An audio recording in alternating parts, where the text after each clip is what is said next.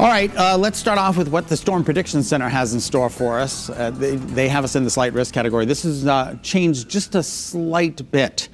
Uh, you can see now southeast Connecticut one step lower than that slight category, but the potential exists for some strong storms once again this afternoon, late this afternoon through this evening and into tonight, particularly here in Connecticut. As you can see, everybody in the yellow has that potential. So we're just going to monitor the skies, and you should as well carry the uh, Channel 3 app with you.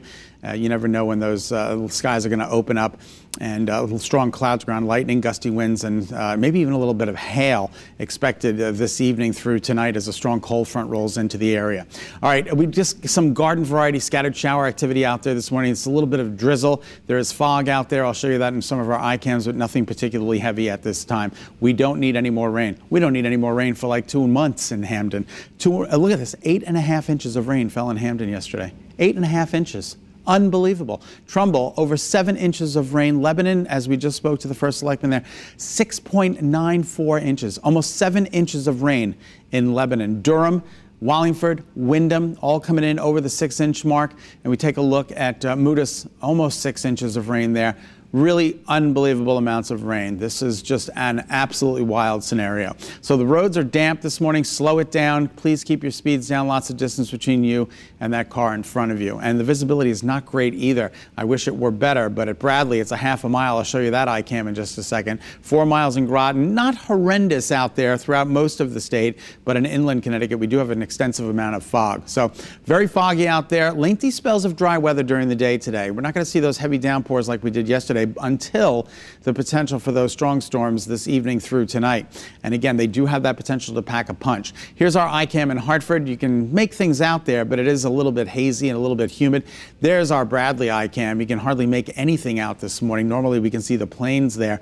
And a little bit of a better visibility in Middletown uh, with partly to mostly cloudy skies in Middletown. Looks like a little brightening in the sky there. The temperatures are wild as well. 72 is the normal high for this time of year. We're at 72 right now in Chester, 73 in New Haven. We've surpassed the normal high by one degree in New Haven at 648 in the morning. Temperatures in the inland are in the low to mid 60s. So it's mild and soupy everywhere with that southwesterly flow, 3 to 10 miles an hour sustained along the shoreline. 12 hour loop shows us that copious amount of rain. It just kept coming down and down and down.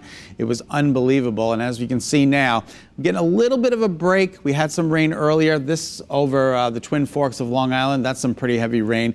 It might just try and clip southeast Connecticut, but I think most of this is going to ride to the south and east away from us. So now we're concentrating on the front. You can see it right here, draped through parts of uh, uh, Ohio, Indiana, Illinois, that's going to be moving in our direction about 16 hours from now. So just remember, according to early warning futurecast tomorrow's weather today, we do run that risk. There could be a pop-up shower, maybe a thunderstorm at any given time today, but again, I think there will be lengthy spells of dry weather. And then tonight, here comes the front.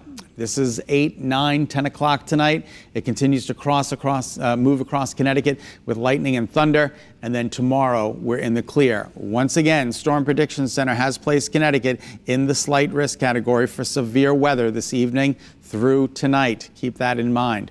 Highs today will climb into the upper 70s, low 80s. It's going to be a very mild day, a muggy day, a humid day with temperatures feeling like summer out there. And then your seven day forecast after a much cooler night. Once the storm passes, those temperatures are going to start dropping.